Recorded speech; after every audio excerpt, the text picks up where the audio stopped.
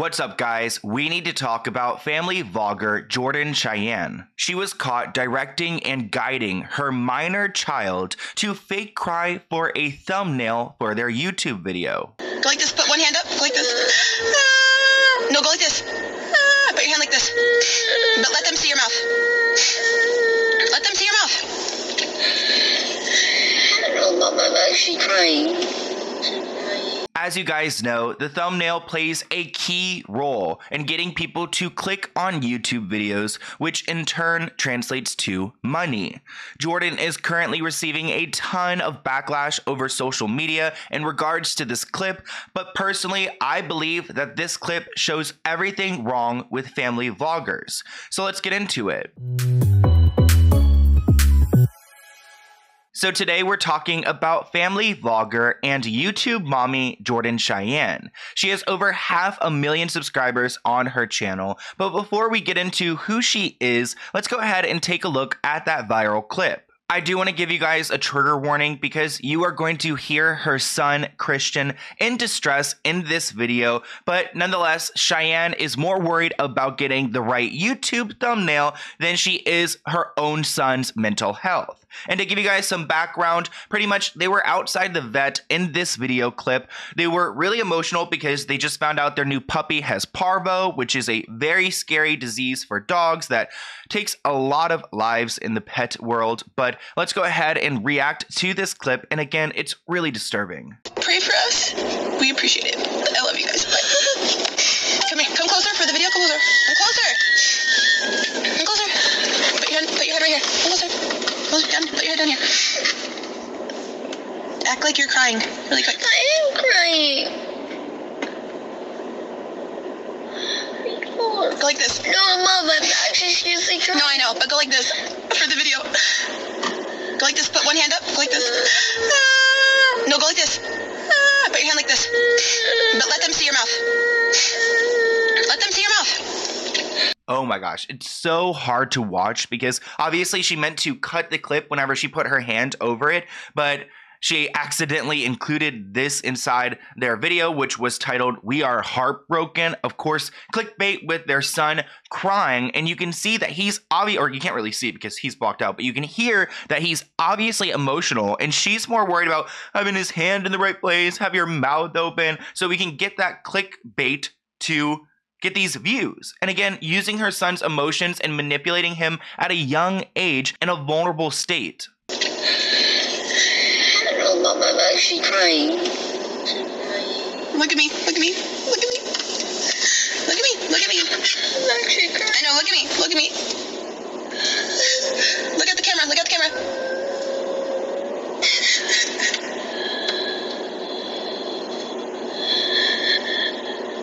Okay, it's okay. It's okay. It's okay. That clip gives me major anxiety. I can't even imagine how her son feels. I do want to thank here for the T2 from Instagram for taking this clip and posting it on their social media because this mother, Jordan Cheyenne, I guess she's a YouTuber before she's a mother. I mean, that's absolutely sick how she's using her child in this situation and it shows you guys what family vlogging is all about. Now let's talk about who Jordan Cheyenne is because like I just said, it seems like she's an influencer before she's a parent. Here's a snapshot of her Instagram page. As you guys can see, she has over 100,000 followers. And here's her YouTube channel. She's got over half a million. And this is the account she uses to exploit her children for financial gain, making her son over here like take his emotions and make them worse for camera, which was really sick to watch. As soon as Jordan saw that that clip was included in her YouTube video, she of course took it down really quickly and she's actually addressed the situation. Her apology video wasn't much of an apology, it was still focused around the dog and the dog's health,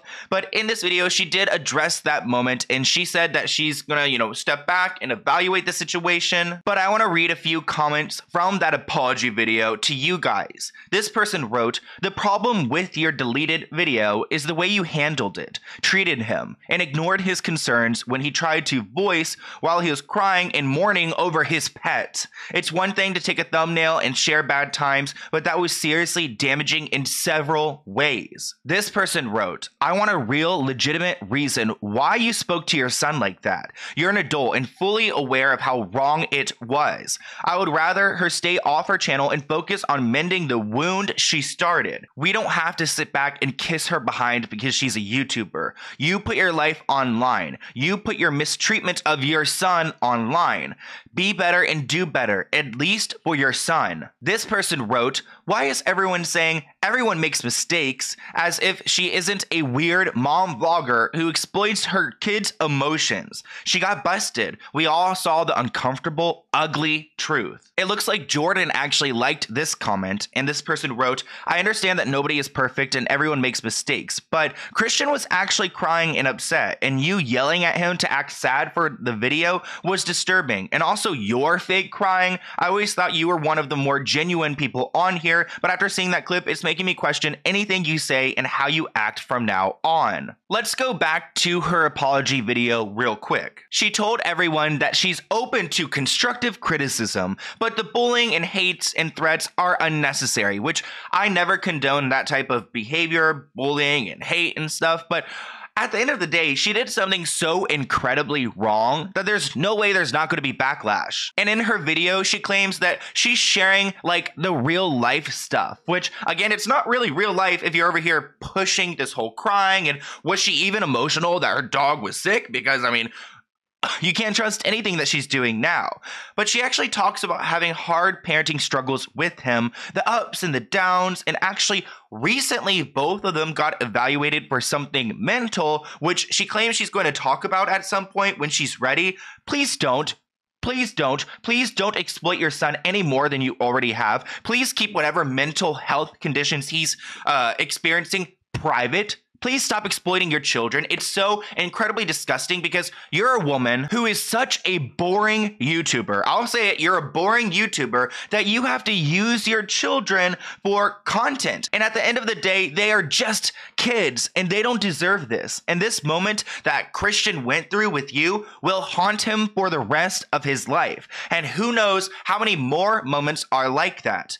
But let's go ahead and talk a little bit about her business because I was doing my research on her and I found something that was kind of icky. So, you guys know how a bunch of YouTubers create these courses where they promise you that you're going to get Instagram followers and famous. Well, guess what? She has a full blown course just like that. And I've actually called out other YouTubers in the past for doing this, and I'm calling her out right now. I'm telling you guys, there are certain things that you can definitely learn on the internet on how to be, you know, a better influencer or YouTuber, but there's no way in hell that this woman is going to make you an influencer like she's promising because this world is very unpredictable and she just kind of happened to become a YouTuber. And now that she's a YouTuber, she's using her platform to not only exploit her children, but also exploit her subscribers and to convincing them that she can make them a star too. And she has so many different courses that she offers on her website. And I think it's just another huge money grab. I'm sure she's done a bunch of these, but this one's just sick. Like, for example, her Abundance Academy that she sells to her subscribers. Thankfully, it's $200 and not 2000 because I've seen some courses that are like like over a thousand dollars, but still for two hundred dollars, you're not going to become some type of influencer. And there are several other type of products that she sells on this page. And honestly, I could look into it more because I don't believe that any of these people are actually succeeding in her course. There aren't any testimonies or examples of people who have grown. So I question this course that she's selling to her fans. And at the end of the day, she can go and do a whole apology tour. I know she went to the Dad Challenge podcast and did an apology there, and that's cool. I'm glad that she's apologetic over this, but I don't believe that she, in her core, truly understands what's wrong here and why it's so effed up to do this family vlogging and to exploit your children. And I'm sorry, lady. Again, you're just boring on your own. So go become more interesting or something because making your kid cry extra harder for this thumbnail so that you can go and clickbait your dog's health, like that's just too far for me. And I believe that she needs to not only take a huge break, but also reevaluate her parenting relationship with her children and consider whether it's worth more to be a loving and caring mother who's here to nurture her children, or does she just want to be an influencer with likes and views? And it's all about the clicks at the end of the day. It's absolutely sick. And I have to say for myself, I don't accept her apology. I've watched two apologies so far on Joss's channel and her own channel, and I don't accept it. I think this clip that went viral shows exactly who this woman is and why it's so dangerous that these children are put on the internet every single day. But I hope you guys enjoyed this video. Here's my email below. If you have any other video ideas for me, let's go ahead and open this one package from someone named Ciera. Um, I've got a bunch of things piling up, so I wanted to open this one for you guys. Aw, so cute. So they drew my name, Sloan, right here. Oh, actually, it looks like they drew it and then pasted it on. And they write, Sloan, I just wanted to thank you for always keeping it real and not being afraid to speak on situations that need attention. I came across your channel at the beginning of this year and I've watched religiously since. Oh my gosh, thank you. You have taught me so much and made me aware of topics I otherwise probably would not know anything about. I admire and value your opinion on things and appreciate how you never judge and actually have empathy for others. In my opinion, you are definitely one of the realest on YouTube.